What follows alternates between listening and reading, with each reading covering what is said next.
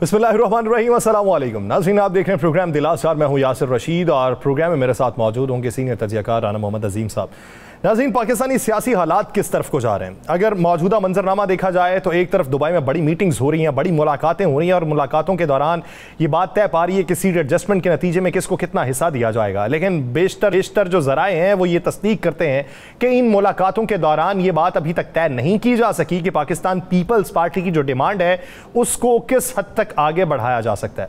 बिलावल भुट्टो जरदारी साहब जो हैं, वो इस वक्त टोक्यो में मौजूद हैं। उन्होंने जापानी सनतकारों से मुलाकातें की हैं सरमाकारों से मुलाकातें की हैं और आसिफा भुट्टो जरदारी भी उन मुलाकातों के अंदर शरीक थी। पाकिस्तान पीपल्स पार्टी के बेशतर रहनुमा ये क्लेम कर रहे हैं कि आने वाली हुकूमत जो है, वो पाकिस्तान पीपल्स पार्टी के और बिलावल भुट्टो जरदारी जो है, वो वज़ीर आज़म बनेंगे। लेकिन पाकिस्तान मुस्लिम लीग नून भी यही ख्वाब अपनी आँखों में सजाए हुए है। इसके साथ साथ और भी वज़ीर आज़म शिप के उम्मीदवार दिखाई देते हैं। तो पाकिस्तान में ये वज़ीर आज़म शिप क्या इस तरीके से तय करने से मिलेगी या उसका मंजरनामा कुछ और होगा। उधर एक और बड़ी मुलाकात जेल के अंदर हुई है। सबक वजी अला पंजाब चौधरी परवेज इलाई से, चौधरी शुजात हुसैन साहब की। और ये दूसरी मुलाकात है। दूसरी बार ये मुलाकात हुई जेल के अंदर। पहली मुलाकात पे मुनस इलाई साहब ने बहुत से तहफात का इजहार किया था कि हमारी फैमिली के लोग मिलने जाते हैं, हमें इनकार कर दिया जाता है, चौधरी शुजात साहब जाके मिल रहे हैं। और अब ये दूसरी बार जो मुलाकात हुई है, क्या इसके बाद किसी बड़ी प्रेस कॉन्फ्रेंस की उम्मीद लगाई जा सकती है? या फिर हालात जूं के तू ही रहेंगे। तो पाकिस्तान के इसी सियासी मंजर में बात करते हैं। राना साहब की तरफ़ बढ़ते हैं। राना साहब शेख रशीद साहब कहते हैं कि हुकूमत की उल्टी गिनती शुरू हो चुकी है। आप समझते हैं कि उल्टी गिनती शुरू हुई है या अभी वो सीधी गिनती पर ही दस तक पहुँचे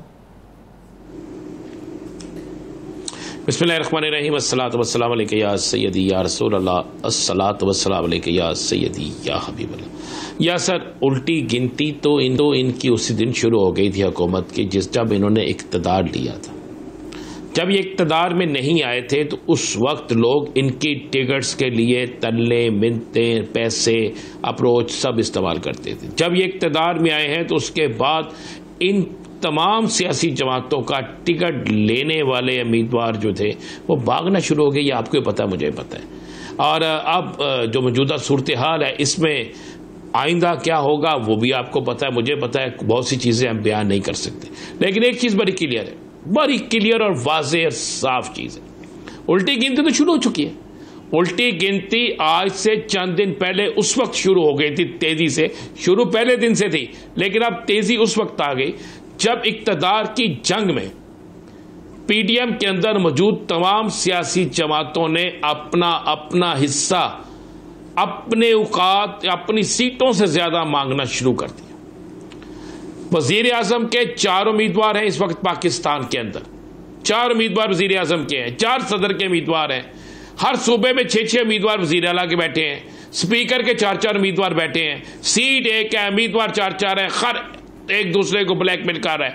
मुझे ना मिली तो ऐसे हो जाएगा मुझे ना मिली तो ऐसे हो जाएगा मुझे ना मिली तो ऐसे हो जाएगा। तो मामला यह है उल्टी गिनती तो शुरू हो गया क्योंकि अब इन्होंने आपस में दस्तों के लिए बाह होना है। अब इन्होंने आपस में लड़ना है। आपको खबर देता हूँ मैं। खबर मेरे पास ये है। राणा साहब राणा साहब कथा कलामी के लिए माजरत चाहता हूँ कथा कलामी के लिए माजरत चाहता हूँ। इस पे मजीद बात भी करते बीच हमें ज्वाइन कर चुके हैं पाकिस्तान पीपल्स पार्टी के सीनियर रहनुमा फैसल करीम कुंडी साहब। कुंडी साहब बहुत मशहूर है आपके वक्त के। कुंडी साहब इंतबात के बाद नतज साबित करते हैं कि मसंद इकतदार पर कौन बैठेगा। अभी से बातें ये हो रही हैं कि बिलावल भुटो जरदारी साहब जो हैं, वो मज़बूत उम्मीदवार हैं वज़ीर अजम के। सवाल ये है कि पंजाब के अंदर पाकिस्तान पीपल्स पार्टी कितनी मज़बूत है? बलोचिस्तान और खैबर पख्तूनख्वा में किस हद तक मज़बूत है? वहाँ से कितनी नशस्तें निकालेंगी? एक तरफ़ आप सीट एडजस्टमेंट की तरफ़ जा रहे हैं और दूसरी तरफ़ पाकिस्तान मुस्लिम लीग नून ये दावा करती है कि वजी अजम अजमशिप हमारे पास रहेगी। तो ये किस तरीके से सीट एडजस्टमेंट को तय किया जाएगा और मंजरनामा वजह किया जाएगा? बिस्मिल्लाहमान रहीम देखें, अभी तक पाकिस्तान पीपल्स पार्टी ने सियासी जमातों के साथ सीट एडजस्टमेंट का कोई फार्मूला तय नहीं किया और पाकिस्तान पीपल्स पार्टी की लीडरशिप जो है वो जो है वो फैसला कर रही है कि किस तरीके से जो है वो सीट एडजस्टमेंट कौन से सूबे में या पूरे पाकिस्तान में किस जमात के साथ किधर हो सकती है। यहाँ तक बात है कि आप ये कह रहे हैं कि पीपल्स पार्टी कितनी नशस्तें निका, निकालेगी। ये तो इलेक्शन के बाद ही पता चलेगा कि पाकिस्तान पीपल्स पार्टी कितने नशस्तें निकालेगी। और मेन बैटल फ़ील्ड जो है वो है पंजाब में डेफिनेटली सियासी जमातें जो है वो पंजाब में पंजाब जमाई करेंगी। सिंध में पाकिस्तान पीपल्स पार्टी की पोजीशन बहुत मुस्तक है बलूचिस्तान में भी है। रिसेंटली खैबर पख्तूनख्वा में भी आ, कुछ लोग पीपल्स पार्टी में शामिल हो रहे हुए हैं और कुछ और भी अभी हो रहे हैं। साउथ पंजाब में भी उस पार्टी की पोजीशन मज़बूत है और ये अभी इंशाल्लाह इलेक्शन के बाद फैसला होगा कि कौन वजी अजम होगा। पाकिस्तान पीपल्स पार्टी की बिल्कुल भरपूर ख्वाहिश है कि बिलावल भुटो जरदारी साहब आइंदा वजी अजम हो। हमने पहले भी इतिहादियों की पॉलिटिक्स की है। अभी भी अदम अतमाद में जो प्रेजेंट आसिफ अली जरदारी साहब का किरदार था, अदम अतमाद में, वो भी सबके सामने है। लिहाजा हर कोई उम्मीद में है। डेफिनेटली जो भी पार्टियाँ हैं, उनकी ख्वाहिश होती है कि उनकी जमात के वजी अजम बने।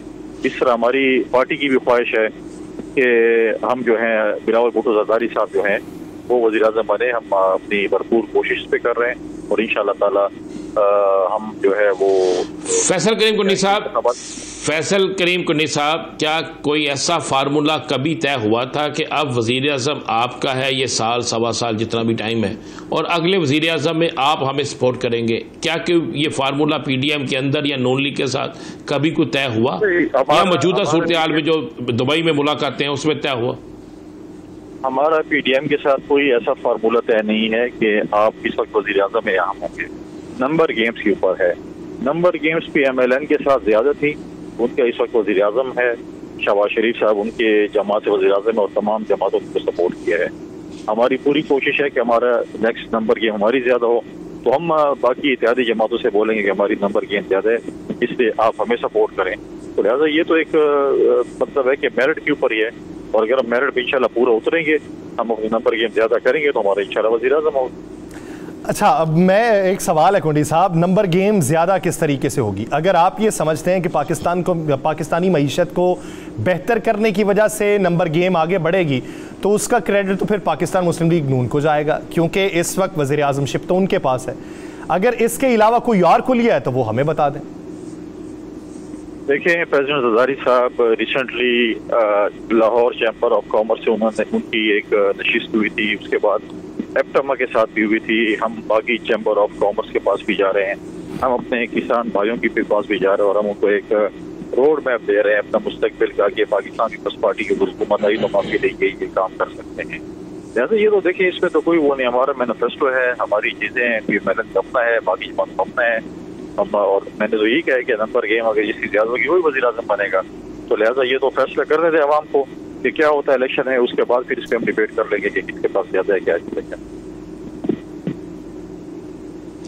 दुबई में क्या तय हुआ जी? दुबई में मुलाकात भी हुई है सारा कुछ हुआ जो शोर मचा हुआ उसमें तय क्या हुआ? ये मुलाकात किस लिए थी?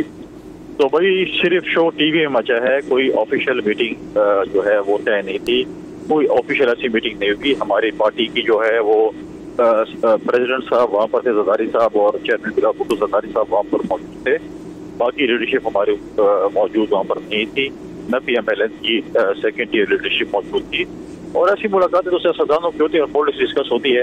एज सच कोई फार्मूला जो है वो तय नहीं होता, हुआ है, और ना कोई ऐसी ऑफिशियल मीटिंग हुई है। जब होगी तो इंशाल्लाह हम उसको आपके ऊपर अपडेट करें इस पर कोई ना प्रेस कॉन्फ्रेंस हुई, ना कुछ भी है।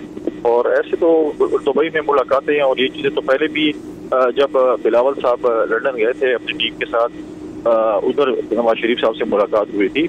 उसके बाद ऐसा मीटिंग नहीं हुई और न ऐसे कोई ऑफिशियल ऐसी मीटिंग हुई, ये प्राइवेट एक मीटिंग थी, जिसमें ऐसा कोई फॉर्मूला तय नहीं हुआ।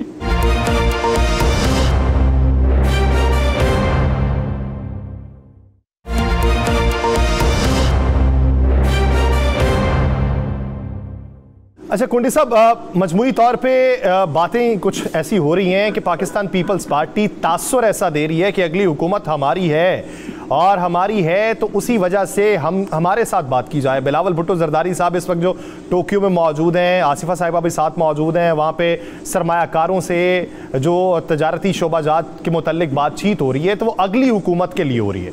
तो ये तासर फिर क्यों है? देखें हर जमात की कोशिश है कि उनका वजी अजम बने और हमारी भी ख्वाहिश है कि हमारा वजी अजम बने। और चेयरमैन बिलावल भुट्टो जरदारी साहब इस वक्त वजी खारजा हैं और डेफिनेटली को ममालिक से जाते हैं पाकिस्तान का मुकदमा करते हैं। अपना पॉइंट ऑफ़ व्यू पेश करते हैं, हम अपना एक रोड मैप देते हैं।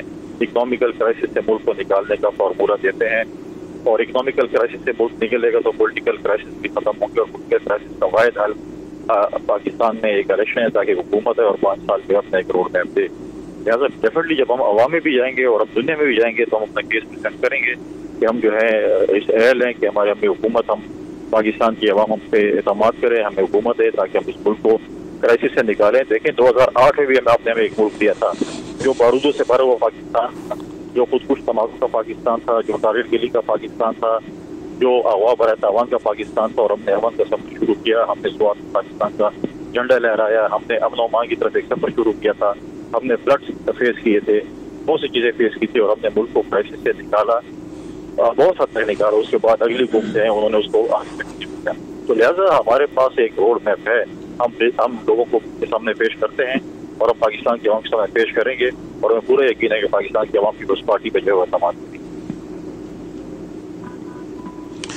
अच्छा कुंडी साहब, पंजाब के अंदर एक जमात बनी, अब तो पूरे पाकिस्तान की जमात है, तरीके इस्तेकाम पाकिस्तान। उनका कहना है कि हम पंजाब में जनूबी पंजाब के ज़्यादातर लोग उसी में हैं, और जनूबी पंजाब से बहुत सी क्यादत जो है, वो उसकी ज़ुबान उसके अहदेदारान भी है। आप क्या समझते हैं, ये जमात जो है, इसको सरकारी सरप्रस्ती हासिल है? सियासी तौर पर इसको बनाया गया है, या इसको दोनों बड़ी सियासी जमातों का तोड़ करने के लिए बनाया गया है? देखिए, नई जमात बनी है और उसमें सारे लोग वो थे जो जो है, वो कहते थे कि जो पीटीआई का चेयरमैन है, वो हमारी रेड लाइन है और पता क्या क्या चीज़ें, बातें करते थे। तो रेड लाइन से तो सारे एयरलाइन में बैठ गए। और उसके बाद अगर देखें तो उसके बाद अगर आप देखें तो उनकी जो प्रेस कॉन्फ्रेंस के बाद उसमें बहुत से लोग ऐसे थे जो पिछली जमात के बड़े तर्जमान थे और टीवी शोज़ पे आपके प्रोग्रामों में बढ़ चढ़ कर पेश होते थे। आजकल वो टीवी प्रोग्राम नहीं आ रहे अपनी पार्टी, जो नई पार्टी उसको डिपेंड भी नहीं करते। ये भी नहीं बताती कि उनकी नई हेडलाइन वाली एयरलाइन सी है। और दूसरी बात यह है कि देखें, उनके लिए अभी उनकी साजी जो सुबह में होती है, बाकी चीज़ें आप देखिए बाकी जमातें जितनी भी हैं, चाहे पीपल्स पार्टी है पी एम एल एन है, या आप नेशनल जमात लीडरशिप है, उनके पीछे वोट है तो इस जमात में कौन सा दूसरे हल्के में वोट हो? मसला ये है कि उनके लिए जो है बहुत सी से आ तो हम हर पोलिटिकल लीडर की कदर ये नहीं लग रहा ऐसा अभी तक तो ड्राइंग रूम से बाहर ही नहीं निकले जब निकलेंगे तो मैनिफेस्टो लेके आएँगे, आवाम में जाएँगे पहले जल्द से तो करें ना। अभी तक तो जल्द से भी नहीं किया, आवाम में तो गए नहीं है। आवाम में जाएँगे तो फिर आप और मैं उस पर तबसरा कर सकते हैं क्या पोजिशन है। अच्छा आप बतौर सियासी वर्कर क्या समझते हैं जहांगीर खान तरीन साहब का मुस्तकबिल क्या है? कि जब उनके लिए सियासत में वापसी का रास्ता भी हमवार हो चुका। देखें मुझे वो देखें जहांगीर तरीन साहब को मैं क्या कह सकता हूँ? मतलब है कि हर कोई जो है, वो अपने हल्के तक की जितने भी लोग हैं, नई जमात हर कोई अपने हल्के तक की महदूद है। और वहाँ पर भी मैं समझता हूँ कि उनको पोलिटिकल पार्टीज़ की सपोर्ट ना हो तो शायद इलेक्शन नहीं जीत सकते। अब देखते हैं कि वो क्या करते हैं? मुस्तकबिल हर कोई कहता है जो भी सियासतदान है हर कोई कहता है कि मैं प्राइम मिनिस्टर कैंडिडेट हूँ जो कौमी असम्बली के इलेक्शन लड़ते हैं। तो अब देखते हैं कि अगर अवाम ने उनके ऊपर अहतमाद की और ये नई जमात बनी है आ, पहली बात तो ये कि जब अवाम में जाएँगे मैंने कहा पहली बात तो ये कि जब अवाम में जाएँगे तो उसके रिस्पॉन्स का पता चलेगा कि उनके ऊपर लोग कितने अहतमाद करते हैं। उसके बाद भी हम डिबेट कर सकते हैं कि जहांगीर खान तरीन का मुस्तकबिल क्या है या बाकी लोगों का मुस्तबिल क्या है। चलें ये बता दें वो तो एक नई जमात बनी है उनका। मियाँ नवाज़ शरीफ का मुस्तकबिल क्या है? देखिए मियाँ नवाज़ शरीफ का मुस्तबिल तो पी एम एल एन ने बताना है। उन्होंने फैसला करना है कि मियाँ साहब को पाकिस्तान आना है। ये तो उनके इंटरनल मसला है। नहीं आप एक सियासी वर्कर आप आप आप एक अहदेदार होने की हैसियत से छोड़ दें आपकी बड़ी गहरी नज़र है। एक सियासी वर्कर की हैसियत से आप बताएँ क्या नज़र आता है आपको? देखिए मैं अगर पी एम एल एन में होता और ये सिचुएशन होती तो मैं कब का अपनी पार्टी लीडरशिप से कहता कि आगे पाकिस्तान की आवाम में हों। और पाकिस्तान की आवाम के में रहें और यहाँ पर जो है आप एजुकेशन की पॉलिटिक्स करनी है आवाम में जाना है, जो भी करना है, आपको आवाम में रहना चाहिए।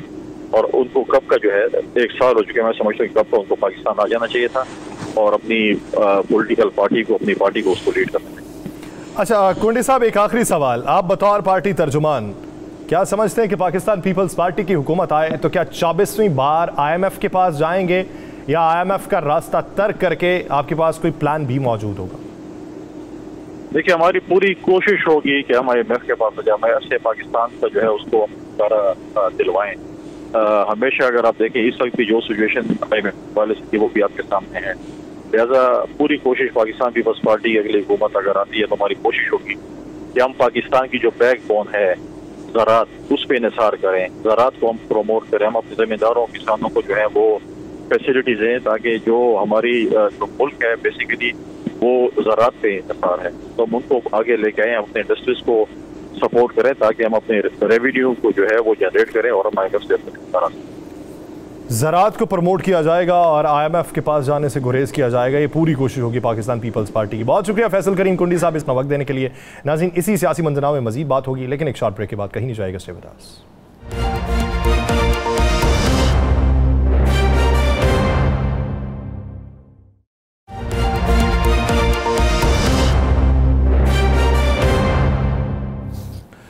ब्रेक के बाद खुश आमदी सिंह फैसल करीम गुंडी साहब, जिस तरह आप ब्रेक से पहले बात करते हुए कह रहे थे कि पाकिस्तान पीपल्स पार्टी की अभी किसी के साथ सीट एडजस्टमेंट के हवाले से कोई डील तय नहीं हुई। और दूसरा ये कि वो ये समझते हैं कि नंबर गेम्स हमारी ज़्यादा होगी और नंबर गेम्स जब हमारी ज़्यादा होगी तो हम दूसरी जमातों को कहेंगे कि वज़ी अजम हमारा होगा और इसके नतज पर मुनसर होगा इंतबात के कि नंबर गेम किसकी ज़्यादा होती है। राना साहब की तरफ़ पढ़ते हैं। राना साहब, अब आप बात बता रहे बता रहे थे तो उस वक्त कुंडी साहब बीच में आ गए। क्या मामला तय हुआ? है देखिए, दो चीज़ें तो जहन में रखी रखिएगा एक तो मैं, हमारी बात की तस्दीक कर दी। मैंने कल भी बात की थी, आज भी कर दी कि पीपल्स पार्टी, नॉन लीग में कोई मामला तय नहीं हो एक तो आप जहन में रखें। अभी एक चीज़ पर बजिद हैं बाऊ जी वो चीज़ ये है कि एक बड़ी गिरफ्तारी की वो तो रहे हैं, डिमांड कर रहे हैं कि उस गिरफ्तारी को होना चाहिए। उस गिरफ्तारी के बाद उस जमात के लीडर की गिरफ्तारी के बाद उस जमात को ख़त्म होना चाहिए। उस जमात को कोई उम्मीदवार जो है वो इलेक्शन में नहीं होना चाहिए। ये मैं आपको बात फिर जाकर हम अगला बा, अगली बात करेंगे। अगर ऐसा नहीं होगा तो फिर ना हम जीत सकते हैं ना आप जीत सकते हैं। ये अल्फाज वहाँ पर अदा किए तो इसलिए वहाँ पे मामला तय कोई नहीं अब ज़रा थोड़ी सी बात कर लेते हैं। चौधरी शजात हुसैन और चौधरी परवेज लाई की मुलाकात की। टीवी चैनल पर जो खबर चल रही है वो खबर फीडेड खबर है वो आ, आ, किसी जराए से अब खबर आती है। मेरे पास मेरी जो बात हुई है वो बड़ी बड़े बड़े ही परवेज लाई साहब के ख़ानदान के अंदर बड़े करीबी करीब तरीन जो उनके हैं रिश्तेदार उनसे मेरी बात हुई है। मैंने उनसे पूछा कि क्या मामला तय हो गया है? तो जिस पर उन्होंने मुझे ये बात कही कि कोई मामला तय नहीं हुआ। परवेज लाई साहब ने वाज तौर पर कहा है कि हमारे और आपके ज़ाती तलाक़ात रिश्तेदारी एहतराम का रिश्ता कायम रहेगा। लेकिन मैं अभी आपके कहने पर अपनी सियासी जमात नहीं छोड़ ये मैं आपको बता रहा मेरे पास इतना यह है कि वहाँ पर जो गुफ्तु हुई उसमें गिले शिकवे बहुत हुए हैं। बल्कि परवेज लाई साहब ने तो यहाँ तक कहा है कि आप ये तो बता दें कि अगर आपने हमें साथ ही रखना था तो जो हमारे बदतरीन मुहालिफ थे जिन्होंने हमारे खिलाफ हुकूमत, हमारी में होते हुए, जब मैं भी हुकूमत में था, वो भी थे मुहालफत की, और उसके बाद प्रेस कॉन्फ्रेंस की तो आपने उनको क्यों नहीं रोका? आपके साहबजादे उनके साथ बैठे रहे। आप वो प्रेस कॉन्फ्रेंस में मौजूद रहे। आपके करीबी लोग उस प्रेस कॉन्फ्रेंस में मौजूद रहे। तो या क्या ये सारी बातें उस वक्त नहीं हो सकती थी? क्या जब मैं वज़ीर अला बन रहा था और आपका एक लेटर चला गया था, उस वक्त लेटर भेजने वालों ने या भजवाने वालों ने जिन्होंने आपको कायल किया आपने उस वक्त नहीं सोचा कि हमने इकट्ठे रहना था? ये काफ़ी गिले शिकवे हुए। और उस गिले शिकवों के बाद मेरे पास जो इतला है कि यह कहा गया कि हम आठ से दस दिन बाद दोबारा मिलते हैं। अच्छा। आप कोशिश करके उस वक्त तक पूरे फैमिली के लोगों से बात कर लें। लेकिन परवेज लाई साहब आज के दिन तक अपनी बात पर डटे हुए हैं। वो कह रहे हैं कि मैं जिस पार्टी का प्रेसिडेंट हूँ मैं वहीं पे खड़ा हूँ मैं नहीं जाऊँगा। मेरे साथ इससे ज़्यादा ज्यादती होनी कोई नहीं, जो मेरे साथ ज्यादती हो रही है। कि मुझे मेरी फैमिली से नहीं मिलने दिया जा रहा, मुझे मेडिकल ट्रीटमेंट नहीं दी जा रही, मुझे बाकी चीज़ें नहीं दी जा रही तो मैं किस तरीके से सरवा आप ये समझ लो। अगर आप मुझे ये सज़ा देना चाहते हैं तो इससे ज़्यादा मुझे और सज़ा आप क्या देंगे? आज के दिन तक यही है। देखिए ये भी जो बाहर निकल के बात हो रही है ना, कि उन्होंने कहा कि मैं तो तैयार हूँ, मेरा बेटा नहीं राज़ी, मेरे और कुछ फैमिलीज़ के लोग राज़ी नहीं है।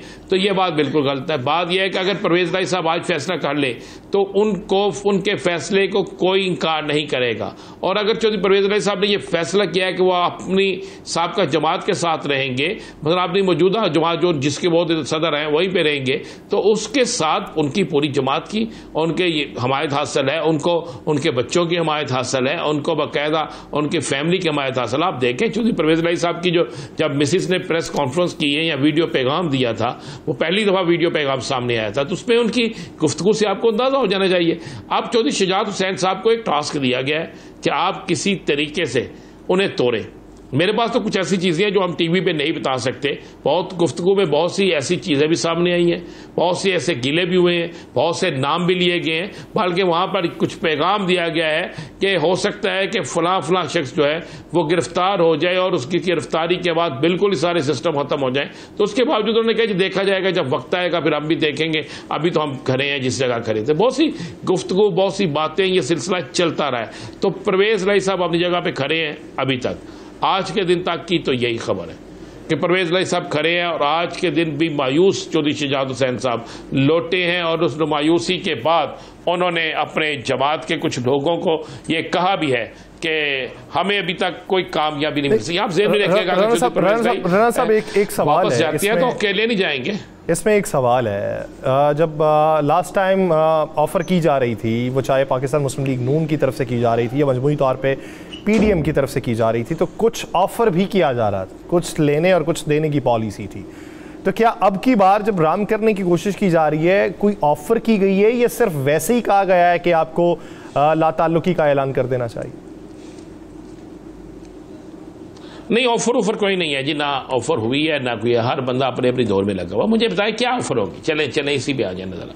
तहरीक इसकाम पाकिस्तान के अंदर जो लोग बैठे हैं, वो चौधरी परवेज लाई साहब के सख्त तरीन मुखालिफ है। ठीक हो गया ना? वो किसी सूरत में नहीं चाहते, उसमें वहाँ पे भी दो तीन उम्मीदवार वज़ीर अला के हैं।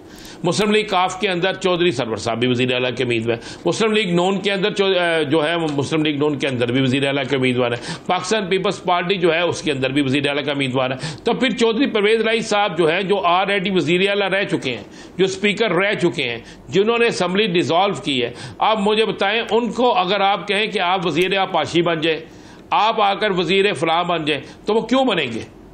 वो तो किसी सूरत नहीं बनेंगे। वो उनके ना बनने का शौक है।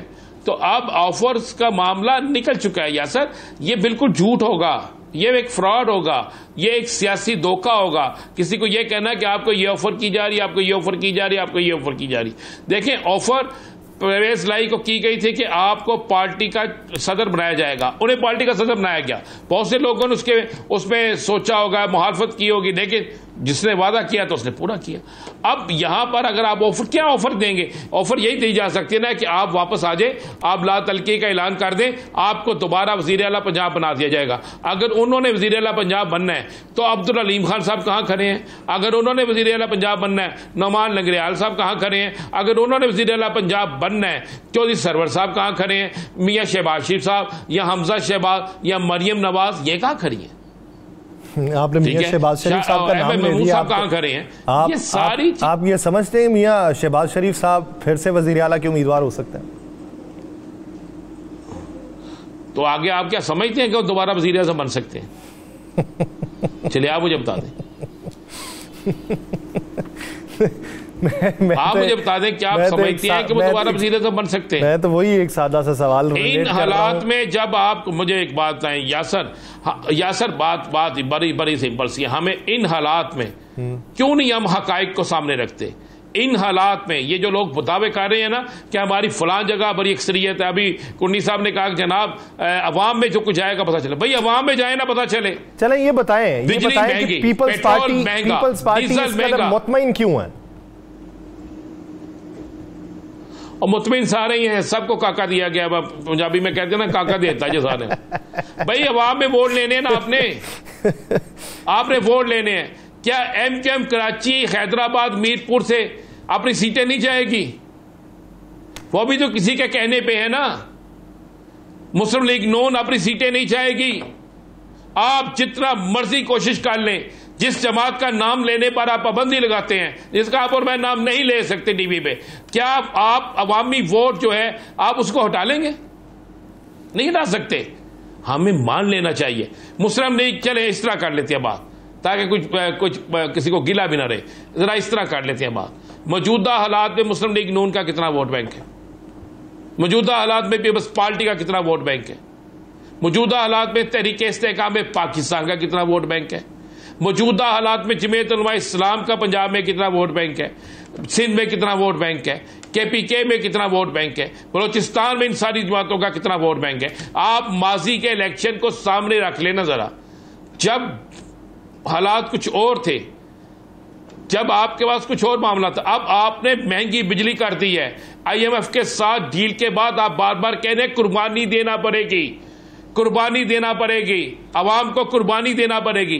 तो ये ना हो, अवाम कुर्बानी देते देते इन तमाम पीडीएम के हुक्मरानों को ही कुर्बान कर दे इलेक्शन में। तो फिर क्या करेंगे ये? ये हमें हालात को देखना चाहिए। हमें हालात को सामने रखना चाहिए। हमें हालात को सामने रख के देखना होगा कि जमीनी हक क्या है। देखें, आज कुछ सियासी जमातों के लिए बेहतरीन हालात है।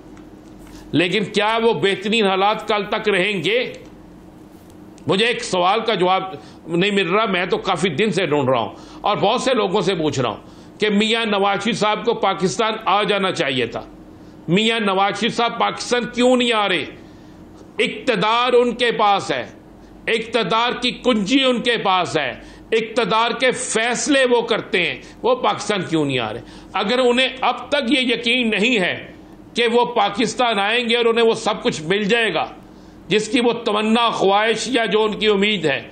तो फिर आप किस तरह ये यकीन से कह सकते हैं कि अगला इकतदार उनका होगा?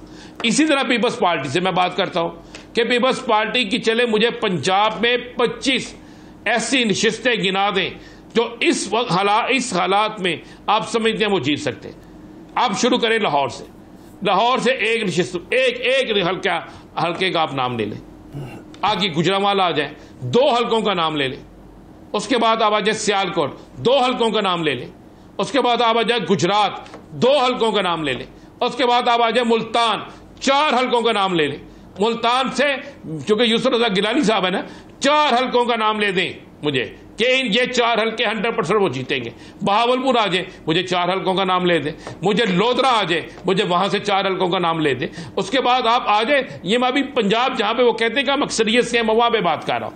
आप उसके बाद नारोवाल शकरगार आ जाए वहाँ पे मुझे चार हल्के बता दें जहाँ से उनके उनके पास वो उम्मीदवार है जो हर सूरत में इलेक्शन जीतेंगे। अच्छा आप आप, आप, आप, आप राणा साहब क्या समझते हैं? ये जो ये जो इलेक्टेबल्स हैं इन इलेक्टेबल्स के ऊपर किसी पार्टी का टैग लगे तो तब इनका टर्नओवर टर्न आउट क्या होगा? और अगर वो टैग ना लगे तो तब कितने वोट हासिल कर सकते हैं? और क्या मौजूदा दौर के अंदर इलेक्टेबल्स की सियासत हो सकती है या नहीं हो सकती? अब नहीं होगी। अब नहीं होगी। आपने एक जिमनी इलेक्शन 20 हलकों का देखा है। उस जिमनी इलेक्शन के 20 जो हलके थे उसमें 11 लोग वो थे जिन्हें आप इलेक्टेबल कहते हैं, जिन्हें आप कहते हैं कि हर सूरत में जीतेंगे। क्या नहीं थे उसमें 11 लोग? वो 11 के 11 इलेक्शन हारे हैं। उनके पास एक बड़ी सियासी जमात का लेबल था। उनके ऊपर मुस्लिम लीग नून का, उनके पास टिकट था। उनके पास शेर का निशान था। वो इलेक्शन हारे हैं। ग्यारह लोग थे वो। वो इलेक्शन हारे हैं। हमेशा वो इलेक्शन जीतते थे।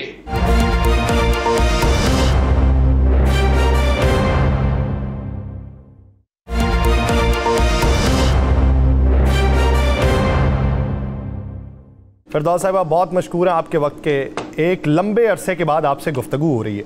बात हो रही है पाकिस्तान की सियासत के ऊपर। पाकिस्तान पीपल्स पार्टी को ये इल्ज़ाम है कि अगली हुकूमत हमारी आएगी। पाकिस्तान मुस्लिम लीग नून को ये इल्ज़ाम है कि मियाँ साहब पाकिस्तान आ जाएँगे, हुकूमत हमारी बनेगी। इस्तेकाम पाकिस्तान पार्टी ये समझती है कि इलेक्टेबल्स हमारे अंदर मौजूद हैं। तो हम एक बड़ा जो धड़ा है, वो बना के मुल्की सियासत, विफाकी सियासत को हिला सकते हैं।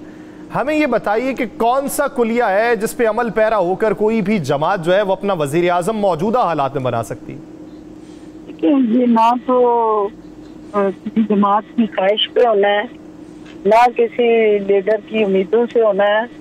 ये जो भी फ्यूचर लैंडस्केप है, इसका तकदीर का फैसला किसी भी सियासी जमात का पाकिस्तान के अवाम ने करना है। और पाकिस्तान के अवाम को ये हक हासिल है, वो ही असल ताकत का सचश्मा है, और जिनके पास ये वोट की ताकत है कि वो किसको हुकूमत में लाना चाहेंगे और किसको हुकूमत से गिराना चाहेंगे। लेकिन जो सिचुएशन जो क्राइसिस जो इस वक्त का पोलिटिकल लैंडस्केप बना हुआ है, उसके अंदर आप अगर एनालिसिस करते हैं तो नून लीग को इस हवाले से बैड मिलेगा क्योंकि रिसेंट मेमोरी में जो है वो लोगों की, वो इन्फ्लेशन है, वो अनरेस्ट है, वो सारा जो महँगाई की चक्की में पिसने वाले लोगों की दिल आजारी है और ओवरऑल जो अब बजट आया उसका टैक्स नेट के अंदर जिन लोगों को लाने की कोशिश हो रही है तो उनकी चीखें और आओ बकाव जो है अल्टीमेटली वो पेटीएम सारी के लिए चैलेंज बन जाएगी। ठीक। हम इसलिए कहते हैं कि हम इसका पाकिस्तान का एक मुस्तकबिल और उम्मीद की और रोशनी की किरण बन सकते हैं, क्योंकि जो नून लीग के या पीडीएम के सताए हुए लोग हैं मुतासरीन हैं, उनको वोट नहीं देना चाहते तो उनको एक अल्टरनेटिव ऑप्शन जो है, वो दस्तियाब है, और वो एक पाकिस्तान को सुरक्षा, रोशन खुशहाल और तरक्की याफ्ता बनाने में इस्तेकाम पाकिस्तान पार्टी का हिस्सा बन के उसको मौका दे सकते हैं। बात आपने आप पीडीआई के हवाले से करना डॉक्टर साहब डॉक्टर साहब आपने बड़ी डॉक्टर साहब आपने बड़ी अच्छी बात की है कि अवाम जिसको वोट देंगे वो इलेक्शन जीतेगा। और आपने ये भी बात की है कि मुस्लिम लीग नून और पीडीएम जो है महँगाई की वजह से लोग उनको बुरा कह रहे हैं लोग उनको वोट नहीं देंगे। ये बात भी आपकी एक सौ फ़ीसद दुरुस्त है। लेकिन आपकी जमात के भी तो लोग जो है जिनको आपने इस्तीफा देने का हुकूमत से कहा था उन्होंने अभी तक इस्तीफा नहीं दिया। वो भी तो पीडीएम का हिस्सा है ना हुकूमत का। फिर आपको वोट क्यों दें? असल में वो पॉलिसी डिसीज़न हो चुका हुआ है। लेकिन चूँकि तरीन साहब पाकिस्तान में नहीं थे और साथ ही डॉन साहब भी इधर नहीं थे तो ईद के बाद ये चूँकि कल पहला वर्किंग डे है तो वो सारी क्लैरिटी और सारा आपको लैंडस्केप समझ में आ जाएगा। ईद की छुट्टियों के फौरी बाद पाकिस्तान की जो सियासत है, उसका नक्शा जो है, वो असर नौ तरतीब दिया जाना है और उसके अंदर आप देखेंगे कि आने वाला जो मंजरनामा है, उसमें कौन सी सियासी जमात जो है, वो कहाँ खड़ी है? लेकिन एक बात मैं आपको राणा साहब बता दूँ, क्या बहन हूँ, जरा बाईस साल का तजर्बा भी है मेरा और ग्रास रूट लेवल की पॉलिटिक्स करती हूँ। और आपको पता है कि अवाम की नबज पे मेरा हाथ होता है। तो जो तुरंत का पता है ना, वो आई के पास होता है। जो मर्ज़ी जितना मर्ज़ी हाथ को मार ले, कोई भी जमात हमारे बगैर हुकूमत नहीं बना सकती। तो फिर यहाँ पे डॉक्टर साहब, एक सवाल ये बनता है कि मौजूदा सूरत हाल में मज़बूत हुकूमत कैसे बनेगी? अगर हम गुजशत हुकूमत देखें तो छोटे छोटे इतिहादी थे, हुकूमत का चलना मुहाल उन्होंने कर रखा था कि कोई अपनी डिमांड रखता था, कोई अपनी डिमांड रखता था। अगर इसी तरीके से धड़ों ने मिलकर ही हुकूमत बनानी है तो एक मज़बूत हुकूमत और देर पा फैसले कैसे हो सकते हैं? देखिए मैं आपको ये हकीकत जो आप बयान कर रहे हैं, ये एक आइडियल सिनेरियो है। एक आइडियल सिचुएशन है पाकिस्तान के पार्लिमानी जमहूरी सिस्टम के अंदर। एक स्ट्रेट अवे टू पार्टी जो दुनिया पूरी में निज़ाम है कि एक हुकूमत में होती है, जमात एक जो है वो अपोजिशन में होती है। इस किस्म का जो है वो परचून या थोक की दुकान नहीं लगी होती, कितनी सारी सियासी जमातें पोलिटिकल लैंडस्केप में हों। लेकिन चूँकि पाकिस्तान का कल्चर पाकिस्तान के जो पोलिटिकल चैलेंजेस हैं, वो डिफरेंट है उन ममालिक के जो एक डेवलप डेमोक्रेसीज हैं, फिर कहीं प्रेसिडेंशियल रूल है, कहीं पार्लिमानी निज़ाम है तो हम चूँकि रेप्लिका है ब्रिटेन स्ट्रक्चर का तो हमारा पार्लिमानी सिस्टम जो है, उसके अंदर आल दो की ये दो, चार जमातें जो है, उनको तो पॉलिटिकल लैंडस्केप में स्पेस मिलनी चाहिए थी। लेकिन जो आप इलेक्शन कमीशन का वो उठा के देखें जरा टोटल रेटिंग और नंबरिंग तो आपको हैरानगी होगी कि डेढ़ सौ से जायद जमाते जो है वो इलेक्शन कमीशन के साथ रजिस्टर है अब ये सारी जो आपको बैकग्राउंड में तजर्बा करते रहे आप। तो जो आने वाला तजर्बा है, मैं ये देख रही हूँ कि लोग जो है, सियासी जमातों जाए, ये एक दफ़ा फिर शख्सियात की तरफ़ जाएँगे। तो लोग जो है वो, क्योंकि हमारे जो सेवेंटी परसेंट देहात में रहने वाले लोग हैं ना, और ये सोचते हैं, मेरे मसाइल का हल क्या हो? ये अर्बन पॉलिटिक्स है कि सिंपल को वोट पढ़ना है नज़रिए वोट पढ़ना है। वो पढ़ी लिखी सोसाइटी या पढ़ा लिखा क्लाउड जो है, जिस दिन इलेक्शन होता है, जो ये सोशल मीडिया में बैठ के डिबेट करते हैं, या एयर कंडीशन हालों में बैठ के वो डिस्कशन करते हैं इलेक्शन वाले दिन जो है, वो लाइन में लगना अपनी तो यूँ समझते हैं। और वो अपने बीवी बच्चों के साथ वो इलेक्शन की छुट्टियाँ मनाने इधर उधर सैर तफरी कर रहे होते हैं। तो ये जो रूरल क्लास है या हमारा जो मिडिल लोअर मिडिल क्लास है, ये वोट देने जाते हैं और ये वोट उसको दे रहे होते हैं जो उनके मसाइल का सोल्यूशन दे रहा होता है। और ये सारी सियासत थाने और कचहरी से जुड़ी हुई है। तो ये लेकिन ये अच्छा डॉक्टर साहब डॉक्टर साहब, ये तो हो गया। ये तो बता दें, एक सवाल का जवाब तो दे दें, डॉक्टर साहब। आप, कोई शक नहीं कि आपकी नब्स है, आवाम में, आपको पता है, मैं जानता हूँ आपको बड़ी अच्छी तरह। डॉक्टर साहब पीडीएम महँगाई का तूफ़ान ले आई तो क्या तरीके इसकाम पाकिस्तान आइंदा इंतबात में पीडीएम की किसी एक सियासी जमात के साथ सीट एडजस्टमेंट करने जा रही है या नहीं जा रही? देखिए ये तो डिसीज़न जो है, पार्टी सतह पे, लीडरशिप की सतह पे कंसल्टेशन और कंसेंसस होना है कि अगला इलेक्शन का ऐलान होने के बाद पॉलिटिकल लैंडस्केप में किस तरह की, कहाँ, क्या पोजीशन बनती है और कौन कहाँ खड़ा होता है। लेकिन एक ब्रॉडर में आपको एनालिसिस दे सकती हूँ कि ये कैटेगरिकली हमारा कंसेंसस है कि हमें एज इंडिविजुअल एंटिटी एक जमात के तौर पे इंसादी हैसियत में इलेक्शन में जाना चाहिए और हमें किसी सियासी जमात के साथ कोलेशन करके अपनी हसीियत पोजीशन और अपने पॉलिटिकल इंटरेस्ट पे कम्प्रोमाइज नहीं करना चाहिए। चले आप आप आप आप एक वसीउल मंजर बयान कर रही हैं लेकिन फ़र्ज़ कर लें कि अगर किसी एक पार्टी के साथ आपका इतिहाद हो जाता है तो मौजूदा मुआशी मंजरनामे को देखते हुए आपके वोट बैंक के ऊपर कितना असर पड़ेगा? देखिए हम कम अज कम मैं अपनी राय में अपनी जमात को इस पॉइंट पे कन्विंस कर रही हूँ और कर सकती हूँ इंशाल्लाह करेंगे।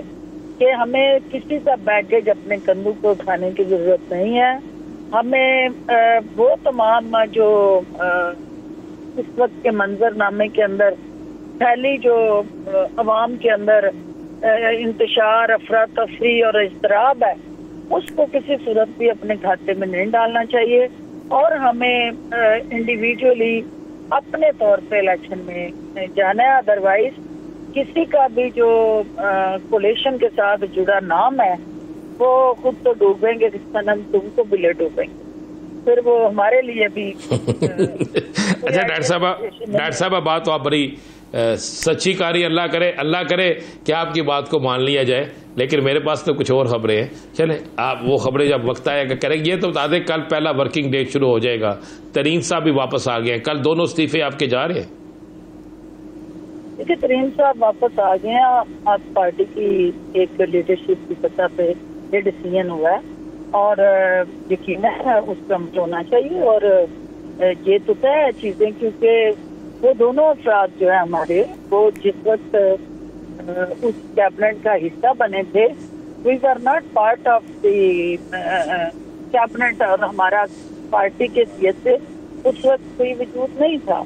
हमारी जो एज अकाम पाकिस्तान पार्टी जो है जन्म वो हमारा उसके बाद हुआ है।